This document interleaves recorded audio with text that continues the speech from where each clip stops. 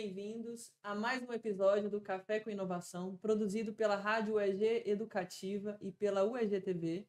E nós hoje, Neto, que vai ser meu cúmplice aqui nessa empreitada, nessa nesse diálogo, né, Neto? Vamos falar aí a verdade. Vai ser um bate-papo gostoso aqui. A pessoa estava nos bastidores aqui, a gente pescou ela porque ela é uma figura ilustre dentro da Universidade Estadual de Goiás.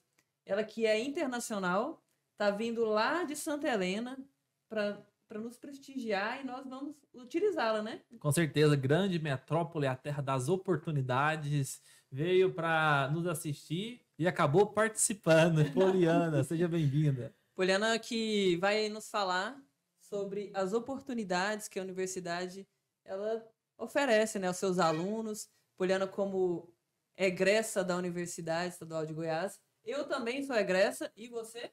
Também. Oh, estamos aqui com os egressos da Universidade Estadual de Goiás e nós vamos mostrar para nossos ouvintes aí, para nossos telespectadores, as oportunidades que a universidade oferece às pessoas do seu estado, né?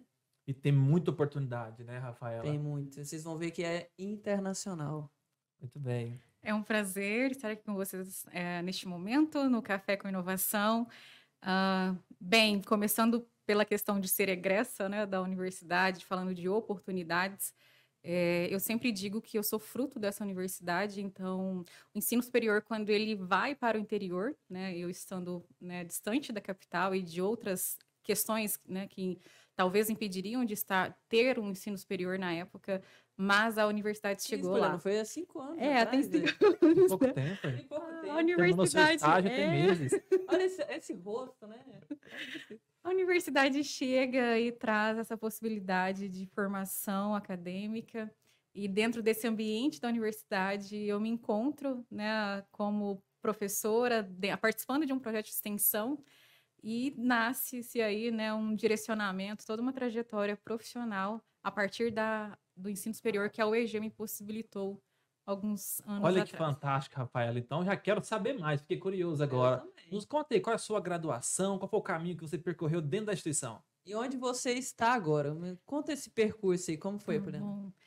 É, eu me formei em sistemas de informação na UEG de Santa Helena e a priori, pasmem, eu queria fazer psicologia, mas as Acho que condições, tem um pouco a ver, é, né? Tem. condições não eram favoráveis e como eu disse, era sempre gostei muito de estudar e quando a universidade é inaugurada ali em Santa Helena, eu já vislumbrei uma possibilidade e prestei vestibular para sistema de informação e passei. Como eu disse, participando de um projeto de extensão para ministrar aula de informática básica num colégio.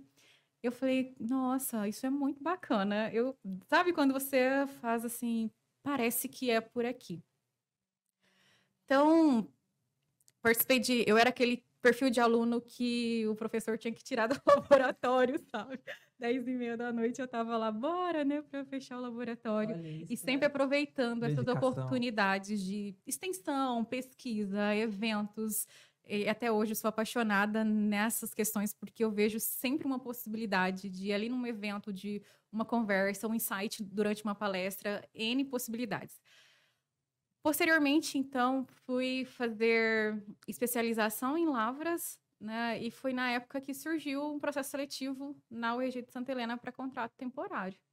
E eu presto esse processo, entro como docente temporária e terminando o contrato, abre-se o concurso da universidade. E aí eu Olha, outra grande. Poliana outra perde oportunidade. Eu falei, eu oportunidade. vou participar desse concurso, deu tudo certo. Então, eu já estou há alguns anos na universidade, fiz mestrado e sempre buscando aperfeiçoar, porque eu digo que quando a gente entende o nosso propósito e você faz aquilo com, sabe, com excelência dentro das condições que você tem, da melhor maneira possível. Uhum. Então, eu entendi que o meu propósito é conduzir vidas para um outro estágio de conhecimento, porque eu fui fruto desse processo da educação. Então, a educação como agente de transformação de vidas. E a nossa universidade, a qual eu tenho muito orgulho, né, possibilita isso, não só para quem está nos grandes centros, mas para quem está lá no interior, como eu fui alvo desse, né, dessa agência de transformação que a universidade tem essa, né, esse poder de transformação de vidas mesmo. a oportunidade sempre vai estar batendo na porta, né, Rafaela? Basta e o aluno ou o profissional do mercado agarrar e fazer acontecer, que foi o que você fez, Poliana. Sim, sim. Fantástico. É, e vo- você, é, você se lembra se, se você foi um, foi um convite, a participação desse projeto? Porque um projeto de extensão, alguns anos atrás, nós tínhamos essa, essa possibilidade de, de entrar em vários projetos né, de extensão. A professora, na época, me fez o convite. Uhum. E como eu disse, eu estava ali para estudar Sim. e aproveitar essas oportunidades, de, porque a gente tem que entender que a, a graduação não é só estar em sala de aula e fazer prova. Exatamente. Exatamente. Então, eu tenho ensino, pesquisa e extensão. E esse tripé né, dá condição para uma melhor formação do aluno. Então, foi nesse intuito que eu fui. Participei de vários projetos de pesquisa e extensão né, durante toda a minha graduação. E acredito que isso tenha feito, com certeza, fez e faz diferença na formação É, e, acadêmica. e, assim, os eventos é importante salientar que os, os eventos, né? A Poliana participa de eventos na área de culinária, na área de psicologia, na área de tecnologia, o que tiver rolando de evento, a Poliana vai, porque ela pensa nas pessoas que ela vai conhecer, né, nesses insights. Porque a Poliana, ela saiu, você vê, ela teve um projeto de extensão com pessoas, né, foi nas necessidades, viu a- as necessidades de outras pessoas, então ela não pensou somente nela. Ela não pensou no projeto de extensão como uma oportunidade de ter carga horária apenas. Ela pensou na possibilidade de ajudar pessoas. E acho que é aí que está o propósito, né? Que nós estamos aqui é para ajudar outras pessoas a evoluírem, transformar vidas, né? Sim, Que imagina, você lá no interior, né, vendo que as possibilidades talvez sejam mais reduzidas, né, talvez, mas aí você olha só onde a Poliana tá. Porque ela vai, ela vai contar pra gente mais pra frente, Neto, o que que ela já tá fazendo e o que que ela vai fazer. Poliana, é interessante e, e, assim, é um, é um prazer receber você, porque é uma pessoa de sucesso, né, um profissional de sucesso. Poliana é. E eu sempre gosto de destacar. Você falou muito oportunidade, oportunidade, oportunidade, oportunidade. A oportunidade ela sempre vai ter, mas eu tenho que abraçar e fazer acontecer. Né? Sim, Isso daí sim. é fato. E não só no mundo dos negócios, mas sim no ambiente profissional, nós temos que pegar as oportunidades e fazer delas resultados.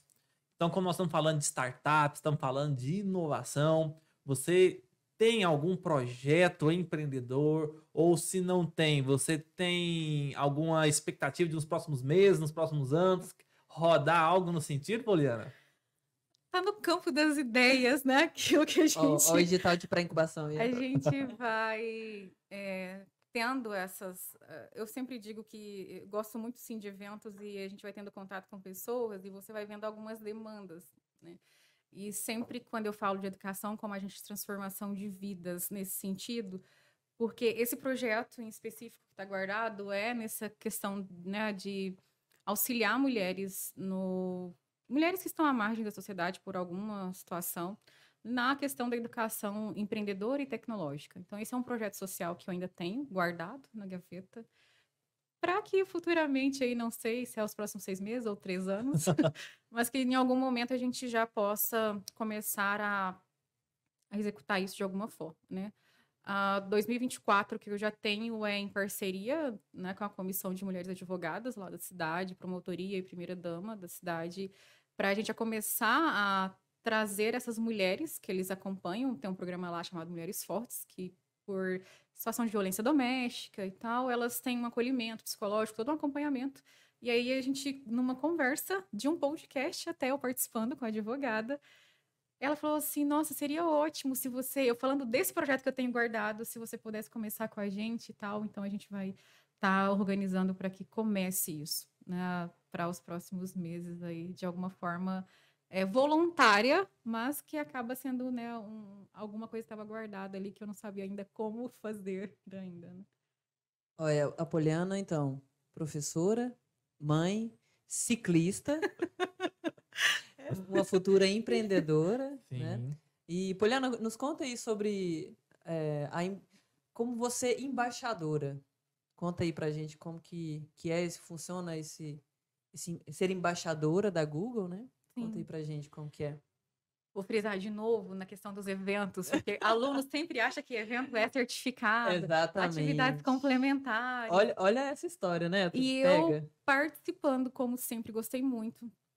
Fiz um curso de web designer na época no Senac e o professor que foi, né, o meu tutor na época, me convidou para um evento de uma outra universidade. Na época, eu não me lembro bem qual era o evento, mas aí depois que terminar a palestra, eu conversando lá com o pessoal, veio um outro professor e disse: Olha, o Google está abrindo, né, tem uma comunidade que se chama Google Developers Group e a gente quer montar aqui na região um grupo para começar. Porque a ideia dessa comunidade do Google é disseminar as tecnologias do Google nas diversas regiões do Brasil e do mundo, né? Você não topa vir com a gente fazer parte? Olha só. Eu falei assim, quero, sem saber exatamente qual seria meu papel nesse momento. Faz isso várias vezes. Fui. E em 2014, 2015, o Google lança um programa global que é o Mantech Makers, que é um programa que as embaixadoras têm como objetivo incentivar outras mulheres na tecnologia. Então, desde 2014 ou 15, não me lembro bem, eu sou uma das embaixadoras do Google para incentivar meninas ou mulheres na área de tecnologia. E isso veio, né, assim, tudo de participação de eventos e networking. Por isso que eu sempre digo, a gente não sempre falo para os alunos, eventos são oportunidades e não só atividades Não complementares. Então, parem de visualizar só isso, ok? É uma atividade da universidade que precisa ser feita, mas não vislumbrem. Ah, já complementei as a carga horária, não preciso mais disso. Né? E aí a gente vai perdendo esses contatos e essas possibilidades. Então, hoje eu moro, né? Hoje não, mas moro numa cidade relativamente pequena, de 38 mil habitantes, e tenho contato com gente no mundo inteiro a partir desses programas do Google que eu faço parte, né? Como embaixadora e organizadora. Você tocou num ponto, Poliana, que eu acho ele o número um dentre os principais ali para desenvolver no, dentro do- da pegada empreendedora, que é o network, né, pô, o Rafaela? O network, para mim, é a principal variável para você fazer com que o seu negócio aconteça. Porque o network tem uma outra palavra do mesmo termo chamada eh, stakeholders, né? Que ali te dá a oportunidade de você conhecer as partes, as pessoas interessadas que podem contribuir para o seu projeto. E o que você falou aí, sempre estar em contato com outras pessoas, nos dá novas oportunidades. E, e, às vezes um projeto que você tem, compartilhando ele com uma pessoa que às vezes você não foi com aquele objetivo, mas ela tem um pensamento parecido e as coisas juntam, né, Rafaela? E no final das contas sai terceiras propostas, igual nós estamos vendo aqui. Não, e, e vou te contar outra coisa. A Poliana, além disso tudo que eu disse, eu mencionei, ela ainda é escritora. Você sabia disso? Sim! Acompanha ela nas redes sociais. Acompanha, acompanha, não perde. Poliana é uma das autoras do livro TI de Salto Isso. e fez aí um- uns lançamentos, né, Poliana? Tanto Sim. aqui em Goiânia quanto em Santa Aconteceu Helena, em São Paulo, né? São Paulo. E Qual que é a aí, proposta então, Poliana? novamente, é, eu sempre, mesmo sendo da área de tecnologia, eu olhava para as redes sociais, ah, eu não quero postar sobre a minha vida, porque cada um tem um objetivo ali, né? E participando de um workshop lá no escritório do Google, Outro evento. é, de formação para as embaixadoras, Rainha dos eventos. rainha dos eventos. E a palestrante naquele momento disse assim, né, que a rede social era importante para a gente fazer, se eu não quisesse divulgar a vida pessoal, que fosse um portfólio profissional. Com certeza. Quando ela falou isso para mim em 2018, para quem estava no evento, eu falei, achei o meu objetivo de usar rede social. E a partir disso, na- quando foi 2022, a Silvia Bellio, que é de São Paulo, a que é responsável pelo projeto TI de Salto, me encontrou pelas redes sociais, não tive contato com ela, e me convidou para ser uma das escritoras da, do terceiro volume, né, do livro em que ela, a ideia é dar visibilidade para mulheres que atuam na área de tecnologia. Quando eu cheguei em São Paulo, em março desse ano, o Dia da Mulher, e pessoal tudo ali, né, do entorno de São Paulo e eu de Goiás, e fui depois, será que tinha alguém de Goiás nos outros volumes? Não tinha, né? Então eu cheguei lá, o pessoal me recebeu porque acham que Goiás é só né, e sertanejo e alguma outra coisa. Não, tem mulher de tecnologia em Goiás Olha também. só, né? Não é só dupla sertaneja. Não é só dupla Não é só sertaneja. Piqui, né? É, nós temos tecnologia e temos mulheres na tecnologia. E daí, já fazendo um spoiler, vem coisas por aí para os próximos anos. Para o próximo ano, E possivelmente. já vai falando, não tem muito projeto, não. Tem não. É, tranquilo, 2024 vou ficar em casa, vou pedalar. Só isso. É, então nasceu esse convite, mais uma vez eu abracei, foi um processo muito maravilhoso, a escrita do, né, de um dos capítulos que eu participei e fizemos o lançamento também lá em Santa Helena em junho desse ano. Ah, e tudo isso, né, eu- quando eu faço uma retrospectiva, começou lá com a UEG, indo para Santa Helena, eu me formando, né, passando por esse processo formativo e tendo essas possibilidades de desenvolver enquanto pessoa profissional e hoje, quando eu olho para a universidade, né, é gigante como nós temos e tantas oportunidades que a universidade traz para os alunos, e aí frisando a respeito da agência de inovação, né? Então, eu vejo a agência de inovação como uma possibilidade, uma porta em que alunos, professores, técnicos administrativos, eles têm de, a partir de uma ideia que está né, ali ainda, será que é isso mesmo? Mas passar por um processo formativo que o PROIN fez durante todo esse período e de uma ideia sair agora com né, um plano de negócio em que pode ser né, que vire de fato uma empresa. Mas o que eu vejo de mais rico nisso é o processo de amadurecimento das pessoas que estão dentro dessa Da jornada pessoa, né? e, e vislumbrar de que, nossa, eu tinha uma ideia e agora eu consigo elaborar um plano de negócio.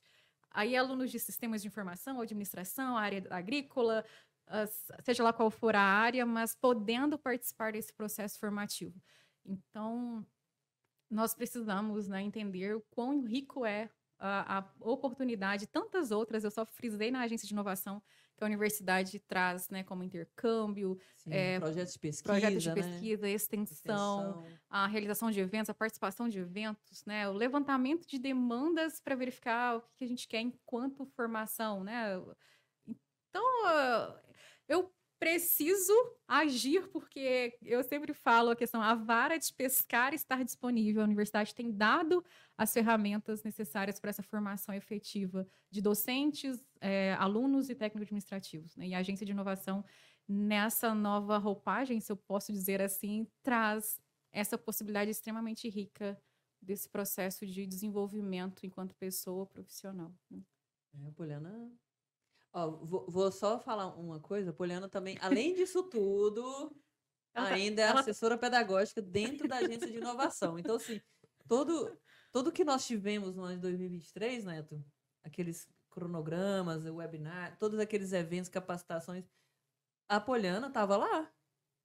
Então, ela foi também corresponsável por tudo aquilo que a gente montou nesse ano de 2023 e no ano de 2024, porque eu não vou tirar essa responsabilidade dela, não, hein?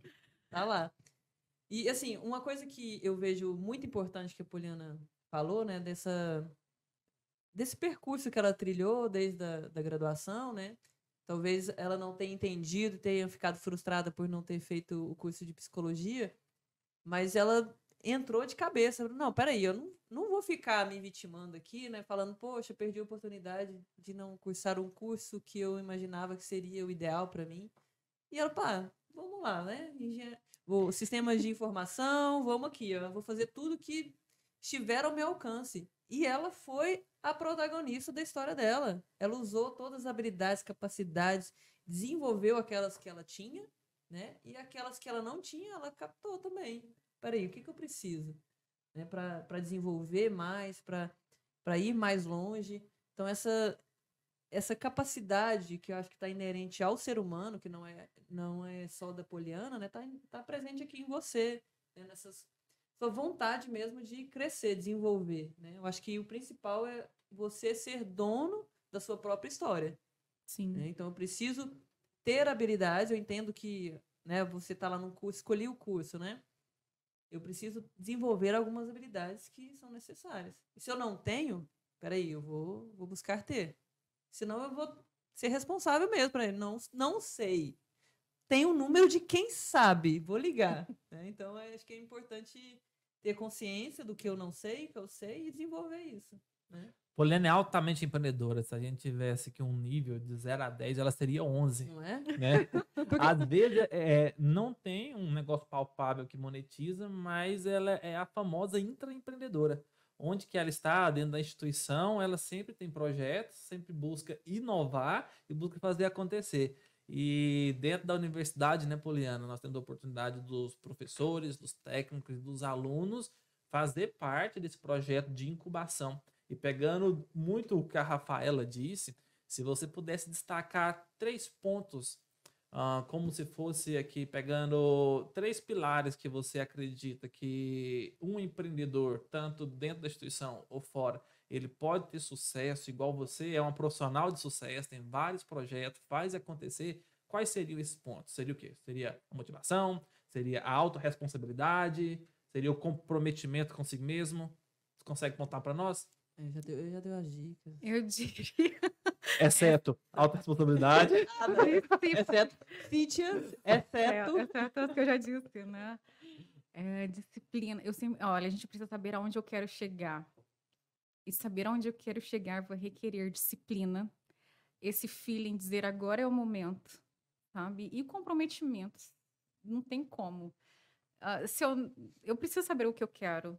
E eu preciso identificar dentro desse processo, né, como um todo de formação, seja no Proin ou dentro da universidade, aonde eu quero chegar, porque é esse onde eu quero chegar, eu consigo fazendo esse link do que me é também importante nesse processo formativo. Então, saber onde eu quero chegar, disciplina e ter compromisso com que lá no fundo, né, é um sonho. Eu quero ser a melhor empreendedora do Sudoeste Goiano. Então, essa. Então, o que eu vou fazer para ser essa melhor empreendedora do Sudoeste Goiano? Que aula, Rafael? Que aula. e olha que, ó, cheguei a ser aluna, né, Poliana, do curso de Sistema de Informação por um período e quase fui aluna da Poliana. Quase fui aluna. Essas informações a gente deixa. Sigilosíssima, sigilosíssima. Comecei muito cedo. É. Bom, Poliana, foi uma honra tê-la aqui. Eu acredito que nós aprendemos bastante, né, sobre a capacidade que nós temos, né, o potencial que a universidade tem como formação, né, do indivíduo e falar que nós, as portas estão abertas dentro do Proin, dentro do programa de incubadora da Universidade Estadual de Goiás e dizer que nós temos o edital aberto para que essas novas ideias, esses novos empreendimentos, eles possam ir receber capacitações por meio do Proin, que está vinculada à Pró-Reitoria de Pesquisa e Pós-Graduação, que também nós temos os projetos de pesquisa, temos a Pró-Reitoria de Extensão e Ações Estudantis com os projetos de extensão. Então, a universidade aí tem ampla possibilidade para que os alunos, né, os professores, os técnicos e pessoas que estejam interessados em capacitações e conhecimento, né, eles possam aí entrar de cabeça como a Poliana, né? Sem ter medo. Lá na frente a gente vê se não dá certo, né? Primeiro eu falo sim, depois eu. Como eu entendi. A, a Poliana tem um sério problema, né? De dizer não. Ela fala o não dela assim, por que não? Por que não? Bom, Poliana, muito obrigada pela participação no programa Café com Inovação de hoje. E convido vocês que querem aí conhecer outros programas videocasts, podcasts na rádio UEG Educativa e também alguns programas, excelentes programas na UEG TV.